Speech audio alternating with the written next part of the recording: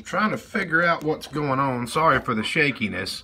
There it is. And to quote Uncle Jim, cat. She's been raising heck. That cat went all the way across the neighbor's sidewalk, flower bed, and everything. And she's just been going crazy. And I finally found out why. I was in the reloading room cleaning some stuff around and uh, getting some stuff ready to go. And she just starts going ballistic. What are you doing, girl? Well, she's over there eating. Alright, well, really quick, just want to say thanks for watching. Oh, look at her. Get her, get her, get her. Cat. Cat. Yeah, you tell him, you tell him. That's right. Alright, guys, thanks for watching. Real quick one.